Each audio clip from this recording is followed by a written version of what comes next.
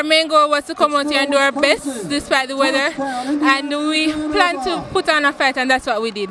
And we came out victorious, thank God.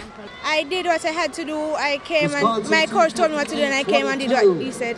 When I got the, bat, the baton in front, my goal was to just go, go out and just stay there.